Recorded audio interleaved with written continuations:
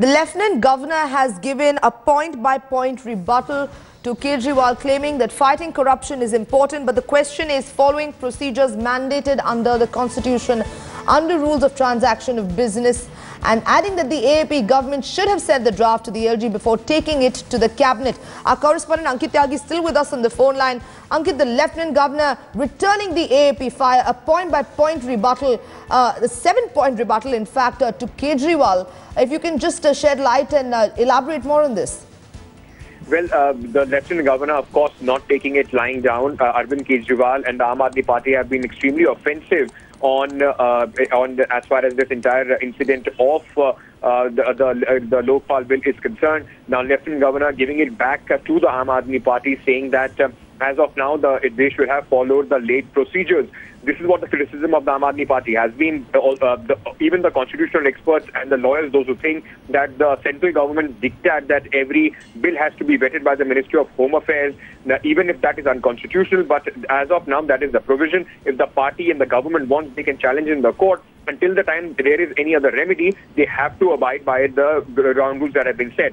But to the rebuttal of that, the Aam Party has released a list of 13 laws that uh, and bills that were passed by the previous Sheila Dikshit government, which were not sent to the MHA. So now the, it has become a, a, a, a, not only a war of words, but also a war of uh, provisions and uh, and uh, the law that has been set in. Uh, the Aam Party government clearly saying that if uh, they are wrong in sending it directly to uh, the, the, assembly, then all those 13 bills and laws uh, enacted by the Sheila government should also be termed unconstitutional. So now the, the Lieutenant Governor already has, we also know, has sent uh, has sought a legal opinion from the Ministry of Law and Justice, and only after that uh, he will be sending his final recommendations as far as the Aam Aadmi Party government is concerned. Ankit, one of the more uh, one of the points that the LG, in fact, uh, has has been has uh, made very interesting, claiming that the failure to control the crowd at the Janta Darbar is proof that the police's views cannot be ignored on outdoor sessions, definitely shedding light on the AAP's uh, consistent tussle that they've been having with the Delhi police since they've come to power. Absolutely. In fact, uh, the criticism that the Aam Aadmi Party government in Delhi is facing is that uh, they have been very confrontationist in their attitude, not waiting for uh, uh things to uh, to uh, you know to find a middle path or to speak to them.